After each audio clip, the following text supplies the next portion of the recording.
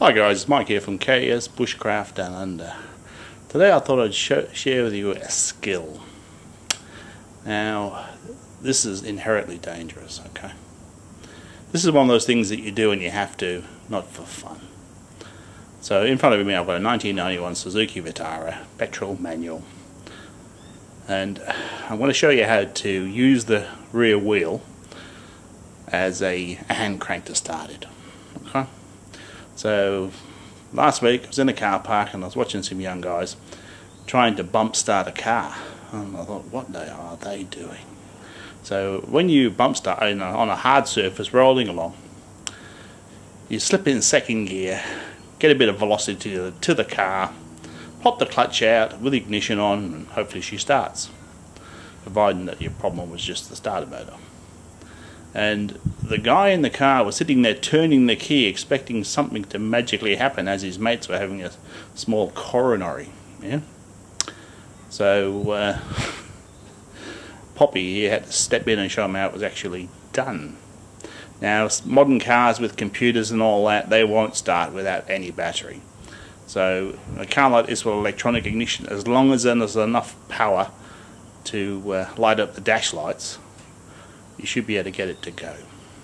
So I've got the front wheels chocked because one it's on a slight slope and the handbrake's off.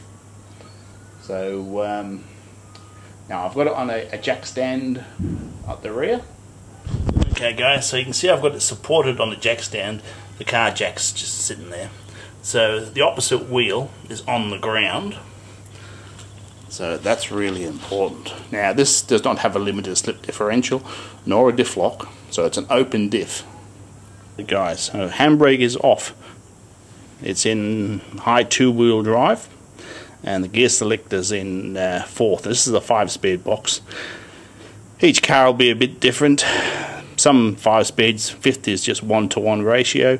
Some it's uh, you know, like 120%. So uh, said each car will be different. So this should work for this little car. So I've got you guys looking at the engine bay.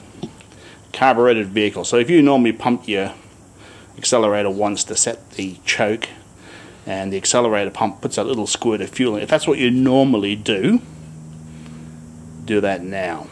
Okay? Just pump the accelerator once as would normally do.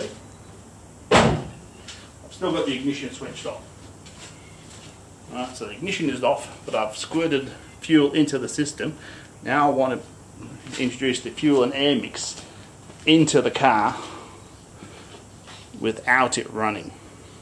Okay, so I'll leave you guys to watch the fan and you should see it turn. I can't see both at the same time.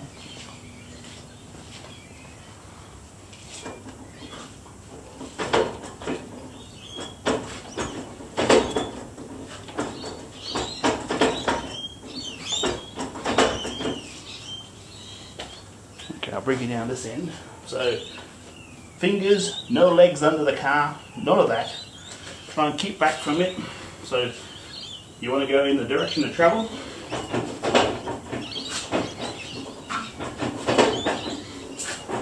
Alright, so what we've done, we've turned the engine over.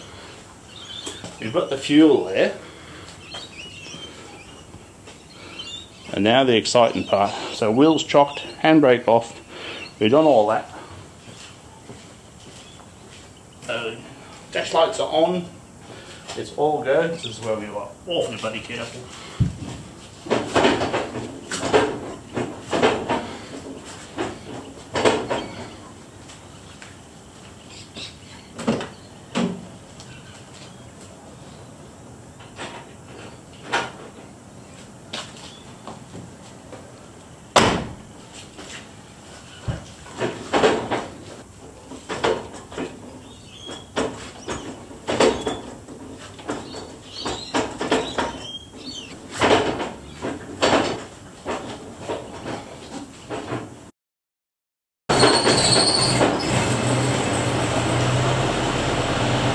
Alright, so there we are guys. There we are. Well guys, I hope you found that useful. I mean with modern vehicles, ABS, traction control and all this type of stuff, it's probably a thing of the past. I mean, back in the 80s, I got stuck with a 40 series Toyota where the battery failed on corrugations and it failed completely. And I actually used that system and a bunch of uh, torch batteries taped together to power up the coil to get me out of trouble. Okay, there was no way I was managing to bump start a 40 series Toyota on soft ground on my own. Anyway, guys, the channel's just passed a million views, so it's quite a milestone. And uh, thanks to your support and views, I've got there. Anyway, guys, take care out there, and I shall see you next time.